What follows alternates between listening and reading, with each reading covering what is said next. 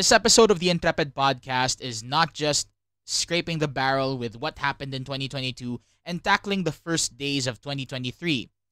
This episode is also dedicated to two holy men who left us in this world for the next, just weeks apart from each other Pope Benedict XVI and Cardinal George Pell. With that said, welcome to 2023.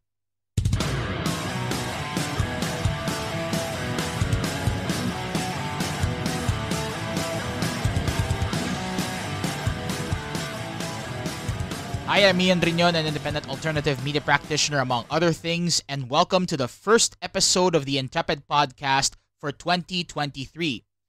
And I would like to take pride in this episode because I have entirely written this uh, the script for this podcast episode on my brand new spanking phone. I'm not gonna uh, tell tell you the uh, the model of this phone, but it's basically a new phone with on which I would uh, I have already recorded some of my uh, unedited videos.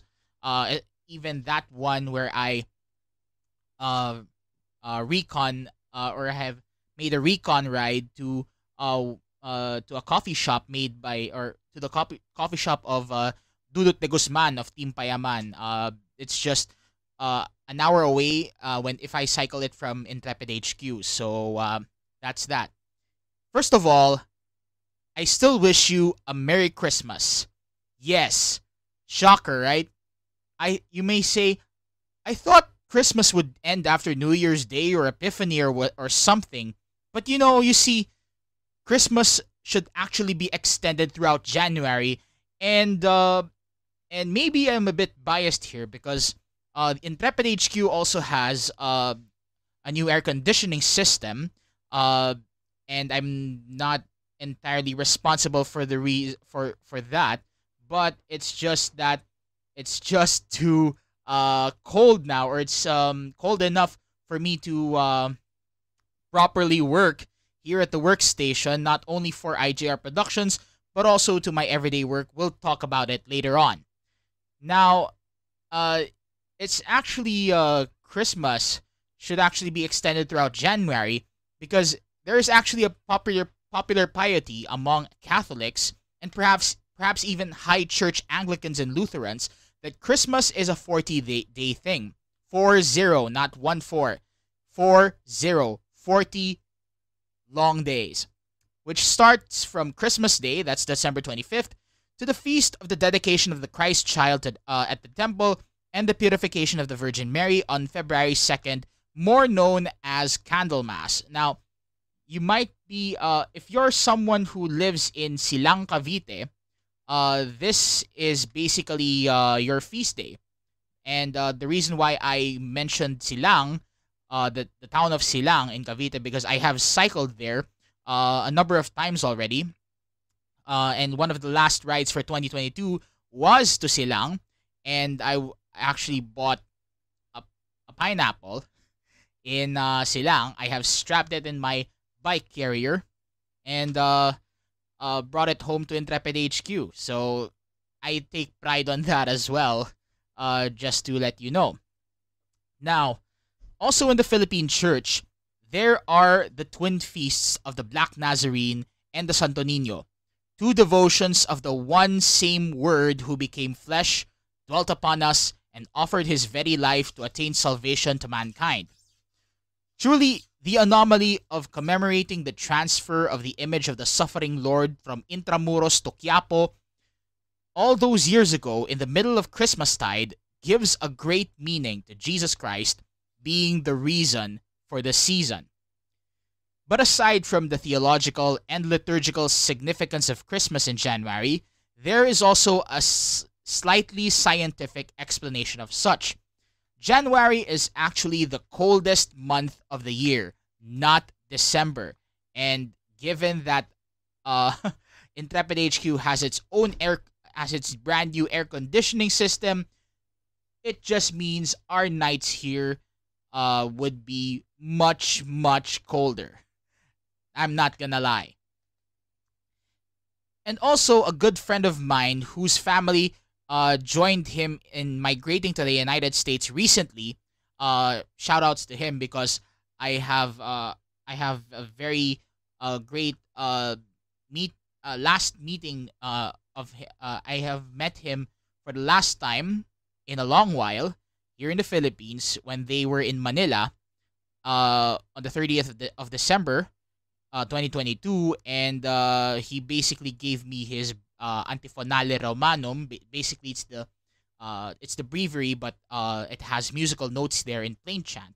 So uh, he gave it to me as a Christmas gift. Uh, that guy told me, uh, among other things, that he called January the dead of winter, meaning it is the coldest uh, days of the season. Now, as tropical folks geographically located in the northern hemisphere, we certainly experience cold, dry winds during December and January, and uh, really, uh, it's it's very cold. It's very cold, and um, coming up to Christmas Day, as in Christmas Day and uh Saint Stephen's on the on the twenty sixth of December, uh, I have, as I've mentioned in some of my videos on YouTube, I have uh, went home with my family uh, to uh, my mother's hometown of uh, San Nicolas, Batangas. And uh, the climate there is so cold that there were no electric fans uh, uh, operating through the night because it's just so damn cold. That's it. So, yeah uh, as tropic tropical folks uh, geographically uh, located in the northern hemisphere, we do experience this uh, cold, dry climate during December and January. So yes, it's still Christmas in January, and in fact, we should keep at least our nativity scenes and Christmas trees until Candlemas. We can gradually take down the other decorations for practical reasons, uh, all the holly, all the uh, all the strings decorations, wreaths, and all that they can uh, they can be taken down, but make the Christmas tree and the Belen the last to stow in that order. That means uh, you can uh, uh, you can take everything down, but not the Christmas tree and the nativity scene.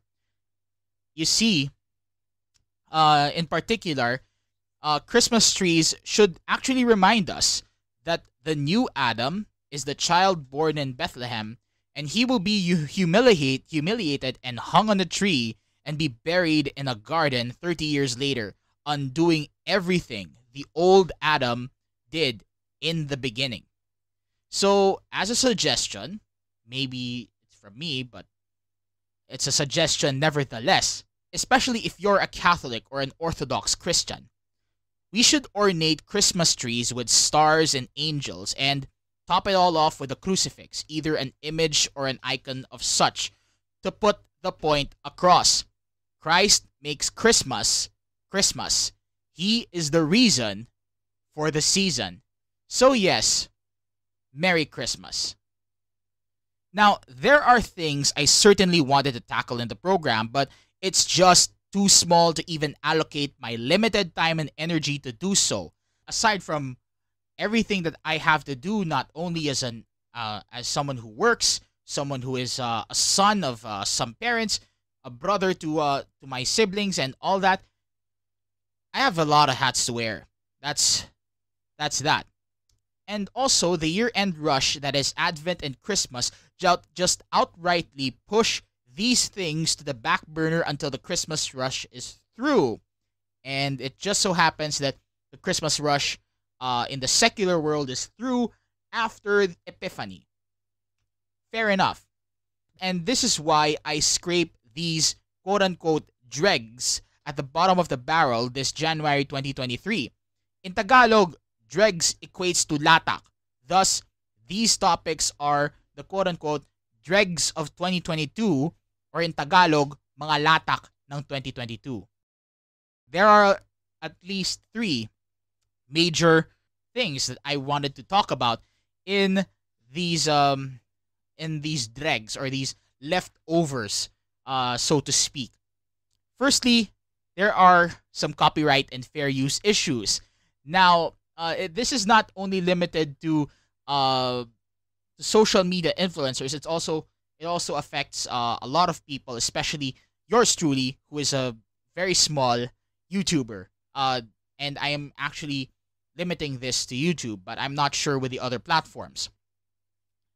Specifically, there's this uh, YouTuber lawyer named Attorney Rani Libayan. And uh, if you are aware of who this Attorney Libayan is, he just happens to be Nico David's legal counsel against his uh, uh against the case uh, filed by uh, Mark Jason Warnacolahewa, aka Makagago, and John Arens Jacob. Basically, Nico David won, and uh, Attorney Libayan represented uh, Nico David in court.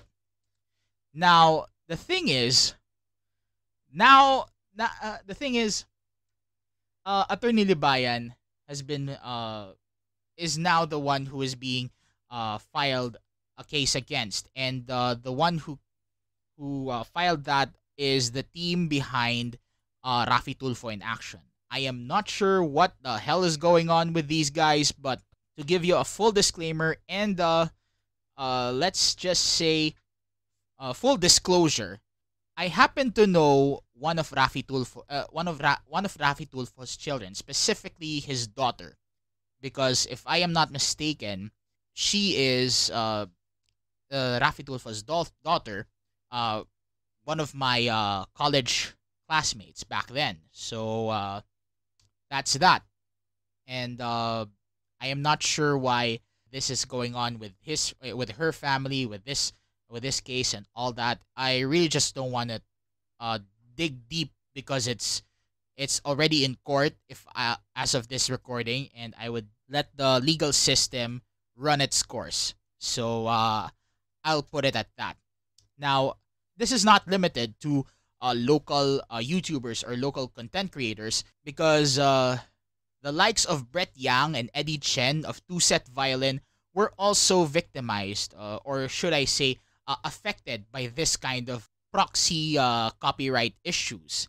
Because if you are a Ling Ling wannabe or someone who is a, a fan of TwoSet, you're probably aware that their 4 million subscriber concert in Singapore was uh taken down for the lack of a better term and it's just weird that the pieces or the uh, the music that these two violinists did or performed was actually already in the in the public domain if i'm not mistaken they both of them performed uh, mendelssohn's uh, violin concerto and i'm not sure which violin concerto. It's a it's a violin concerto by Mendelssohn. That's where that's what I'm uh that's what I'm aware of. And yeah, it's just uh unfortunate that these guys are uh, disappointed. And Brett and Eddie are not the ones are not only the are not only the ones who are disappointed here, but probably the Singapore Symphony Or- Orchestra as well because they're the ones who accompanied uh, Brett and Eddie and uh let's not forget the fan base. So uh, they're also upset about this uh, technicalities that YouTube has uh, done. And it's also uh, applicable to myself on my end kasi, uh, because uh, during Advent, I recorded my uh, cover of the Advent hymn Babylon is Fallen. Yes, uh, that hymn can be considered for Advent. So for next Advent, you already have one option, okay? from yours truly. The thing is, I really wanted to cite the link or the reference to the lyrics of uh, that hymn, uh, Babylon is Fallen. But for some reason, YouTube has uh, deemed that uh, that link a little bit dangerous or whatever. Uh, so I I just uh, so I just told or basically told myself, yeah, fine, I can take it out. I can edit it that way. But uh, let, I'm just uh, telling uh, everyone for due diligence that uh, what I sang was not mine. And I just did a cover of that hymn. So that's that. So yeah. That's uh that's one topic about copyright and fair use issues. And then you also have fatherhood and daddy issues. Uh it's a little bit awkward because uh, while I'm recording this, my own old man is uh is inside the room and he is uh uh tending to the new air conditioning system here in Intrepid HQ. So that's that's just uh weird, but I I take it as it is. So you see, during the Christmas rush, the, there is this influencer father or influence uh influencer or let's just say a social media guy, or uh maybe this is just an average Joe uh for uh for all I know. Uh he's a father and uh for and basically he he's uh let's just say uh someone who is into uh uh games He's uh, an aspiring gamer, and he, he just so happened to be a father as well. So uh, he just posted maybe um, out of lack of prudence probably or whatever uh, that he would just he, he can forego everything that he wanted so that he can uh, meet the needs of his child now it did have uh, mixed reactions from a lot of people. Uh, on one hand, there are uh, there are some who say that this father is just doing the bare minimum. Why do why does he have to uh, why does he have to uh, uh, share it to the world if he can just uh, if he can just uh, uh, enjoy it or uh, reflect on it on his own. On the other hand, though, young adults are exposing their uh, their own uh, animosities, but uh, animosities with their fathers, and uh, for some, and for some cases, I cannot blame them, uh, especially if uh, these young adults uh, experienced very bad memories with their uh, with their own parents, especially their fathers. That's why they have these uh, so-called daddy issues. I do not want to invalidate that. Uh, so much so that I do not want to invalidate as well fathers who are doing their bit to uh, do their uh, do their responsibilities to their families. And I myself am uh, trying to discern on how to let's just say sort this out myself if if and when I become a husband and a father. So uh, that's just that. So the balance take here from yours truly is that sel- uh, we should uh, parent ourselves and at the same time uh, become better persons and parents. So uh, in short or in uh, to simply put, let's be better persons. Uh, let's try let's start parenting ourselves if we had the very uh if we had a very bad childhood or we lacked something in our childhood. And honestly i i did lack some uh factors during uh during my child when i was a little boy. But that's no excuse for me to uh to share my daddy issues to all of you because uh that's in the past and uh it's up to me to uh, go above and beyond what my own father did to me. So, uh, maybe just to uh, end this uh, end this topic, what I can say, and I hope this is also what you would consider to say, the curse ends with me. From now on, I will become a good parent. If you're a guy, if you're if you're a male, if you're a man, if I the curse ends with me and I promise myself to become a good husband and a good father to my wife and children if ever I became one. Yeah. Sorry, uh I'm not really crying. It's just that uh it's just too touching or just too um disappointing that I had to uh say all that But at least I'm trying not to cry. that's uh that's uh that's it. And in connection with that is uh this uh this topic about breaking the cycle. Now, I have already mentioned this in uh, my previous in, in the previous episode uh, during the uh, during episode 2 uh, where I uh, shortly uh, or I've somehow uh, tackled uh, H2O and his mom and uh, breaking the cycle. But I just wanted to uh, reiterate this because there is a connection between breaking the cycle and uh, the concept of diskarte or uh, the the nearest uh, the nearest uh, translation to diskarte in English is hustling hustling your way to uh, to success now hustling is not bad per se if you really hustle to uh, to do something that uh, would uh, benefit you, it's actually uh, it's actually a good thing.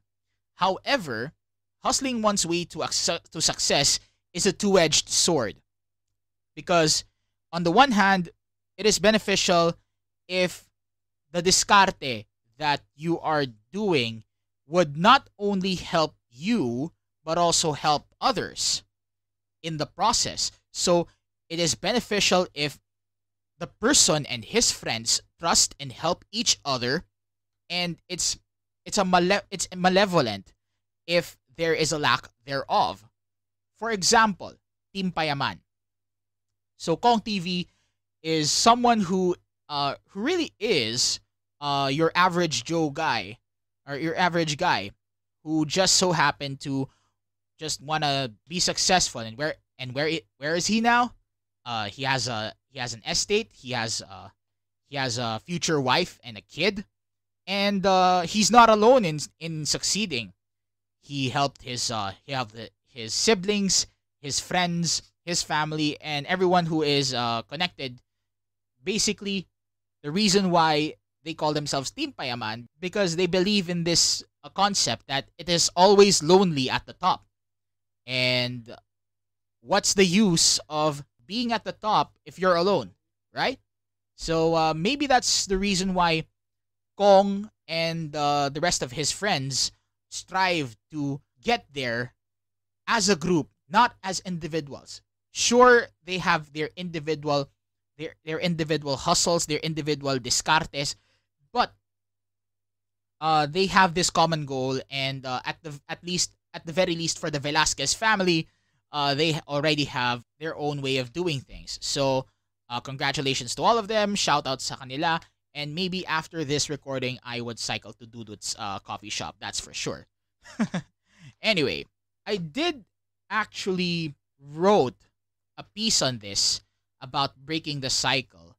And uh, right now, it's not uh, the notebook where I wrote it is not immediately in my workstation. So I am basically checking my own Facebook post for that. So let me just check that out.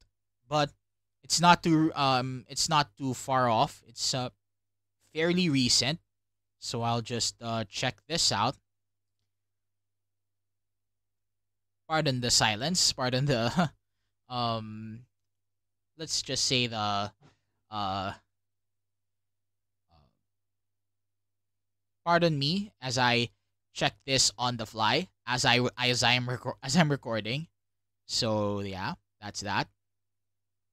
And I do mean it. I'll be uh I will be cycling uh to Dudut's coffee shop after this. So um yeah. Uh I ha- I actually missed uh Dudut's uh the, the coffee shop's soft all opening last week because it was in it was three in the afternoon, and uh, yeah, um, it's three in the afternoon, and uh, I have to I have to go to mass at five, so that's just uh that's just unfortunate. So yeah, it's um it really is just unfortunate. It's just far down here because I have a lot of stuff. You know what? Uh yeah. Just give me a moment, please. Anyway, uh, Also, uh, part of the uh, latak ng 2022 is the death of Jose Maria Sison, uh, the leader of the Communist Party of the Philippines.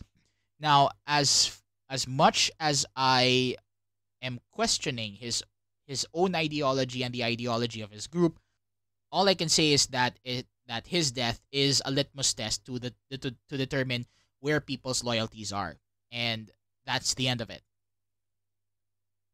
Okay, okay, I got it now. So this, uh, let me go ahead and quote myself, uh, when I when I wrote this last December 8, 2022, uh, the feast or the solemnity of the Immaculate Conception. Now, to properly break the cycle, parents need to let their children make a living or earn for it in their own terms. They will fail, they will make mistakes, but they will certainly appreciate your support and the right amount of advice and wisdom. To properly break the cycle, young adults need to realize as well they, that they will go and grow old. That being a self made individual, quote unquote self made man, will bite them in the backside later in life should they have children, and especially if they decide not to.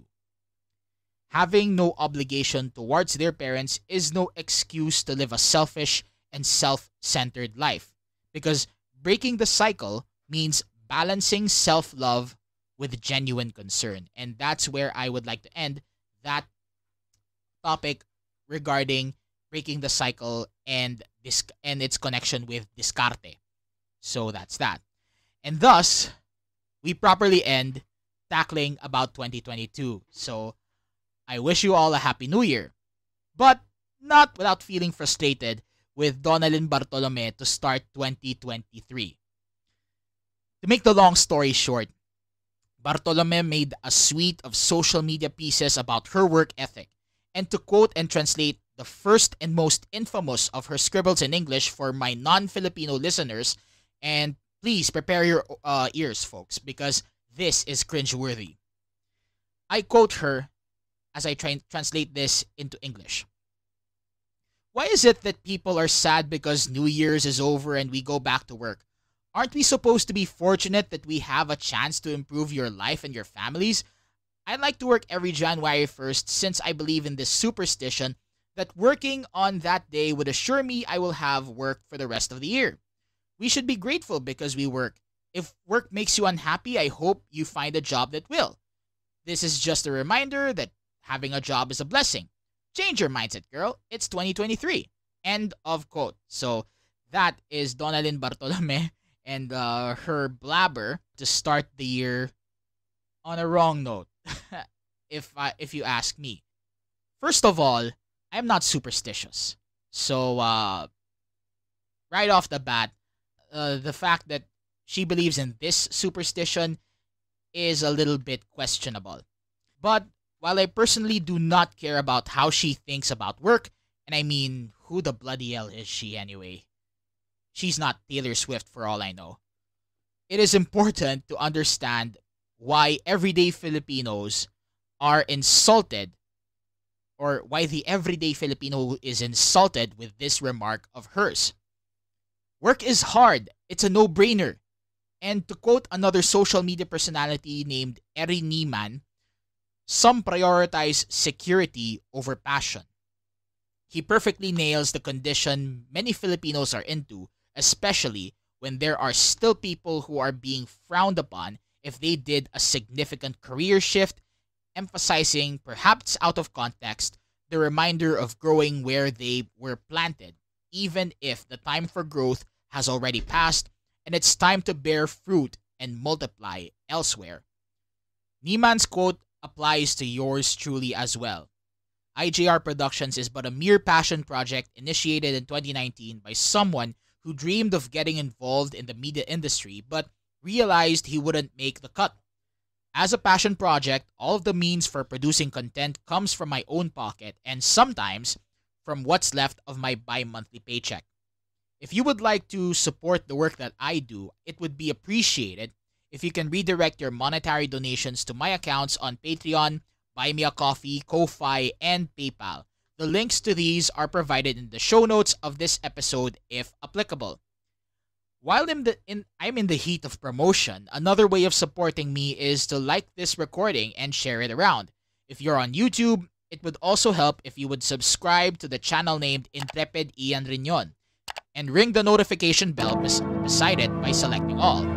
I also have a Facebook page called The Intrepid Show with Ian Riñon, and there's also Twitter and Instagram, though I seldom use them. If you're a cyclist like me, I also have a Strava account for you to follow and check the rides I have been into. The links to all these sites are also in the show notes for you to check out. Now, going back to the topic. Bartolome's subsequent posts only proved her defective moral compass and her sense of altruism, or as some people call it, main character syndrome. In a nutshell, she thinks the world revolves around her and her perspectives, to be charitable, can be considered by the general public due to her status as a public figure. In short, it is the case of someone bringing her own chair in a conversation, or in Tagalog, nagbubuhat ng sariling bangko. She also displays narcissistic behavior whenever she engages with the general public through social media by sharing her own story if not comparing herself with others.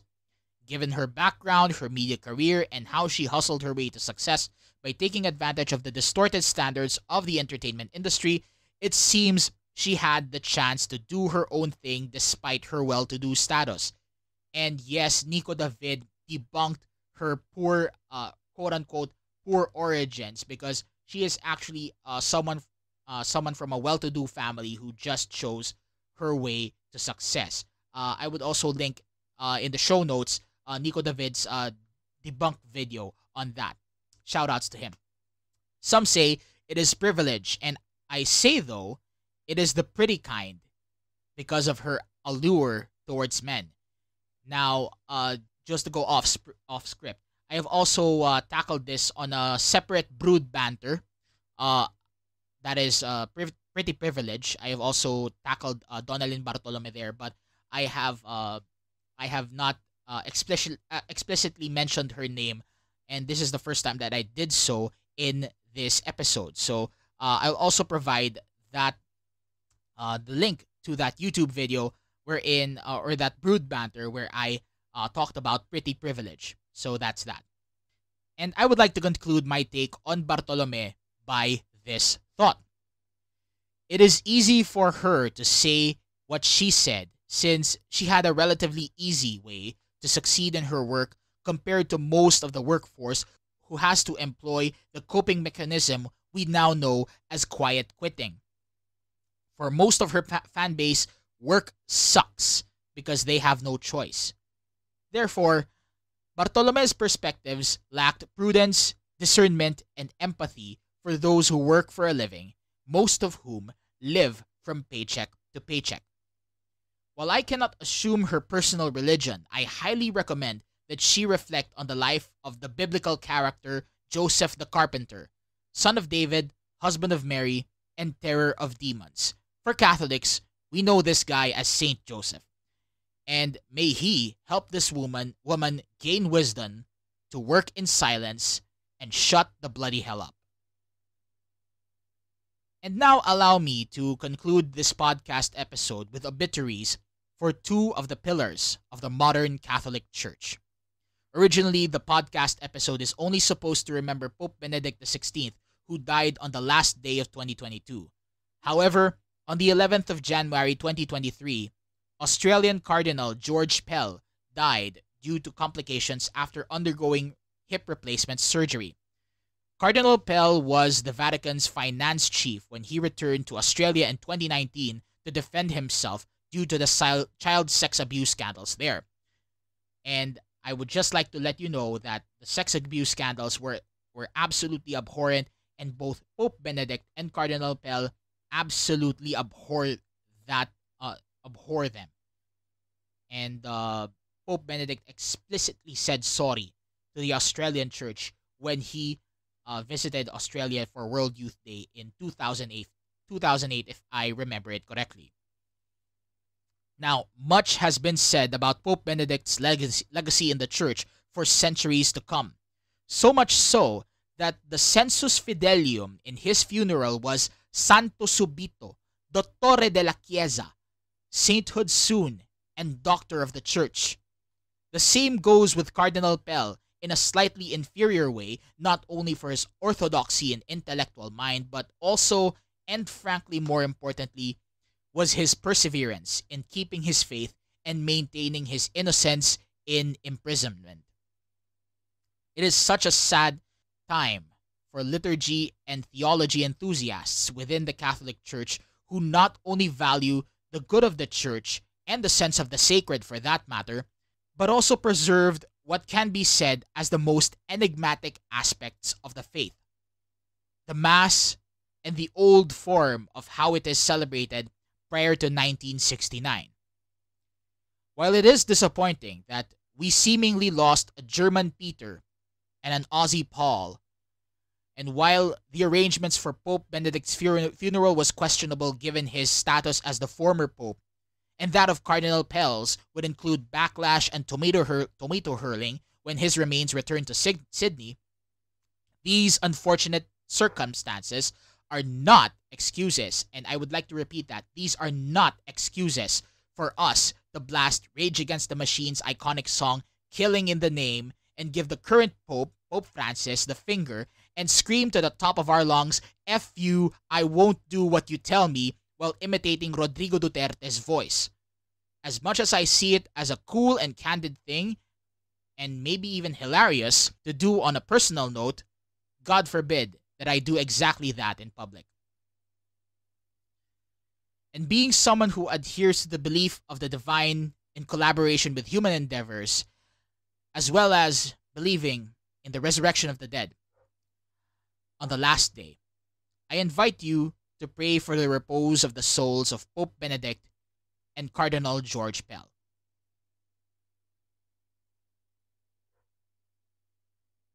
O God, who in thine ineffable providence didst will that thy servant Benedict shouldst be numbered among the high priests, grant, we beseech thee, that he who on earth held the place of thine only begotten Son may be joined forevermore to the fellowship of thy holy pontiffs. Through the same Jesus Christ, thy Son, our Lord, who liveth and reigneth with thee in the unity of the Holy Ghost, ever one God, world without end. Amen. O God, who wast pleased to raise thy servant George to the dignity of the episcopate, vouchsafe him, we beseech thee, to number him with thy bishops and priests forevermore. Through Jesus Christ, thy Son, our Lord, who liveth and reigneth with thee in the unity of the Holy Ghost, ever one God, world without end. Amen.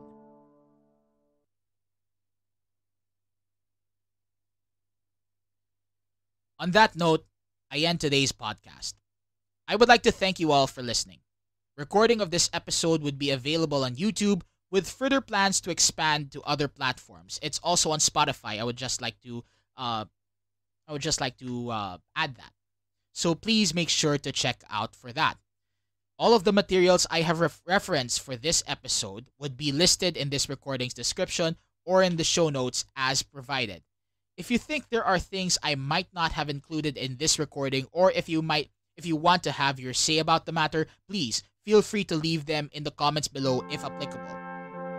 And with all that said, this is Intrepid Ian Riñon reminding you to at all times be the salt of the earth and the light of the world. Until then, look alive, stay alive, be kind to yourself and to each other, and thank you for tuning in. From here in Intrepid HQ, See you next time for another talk here on the Intrepid Podcast. May the souls of Pope Benedict XVI and Cardinal George Pell and all the souls of the faithful departed rest in peace. Ian out.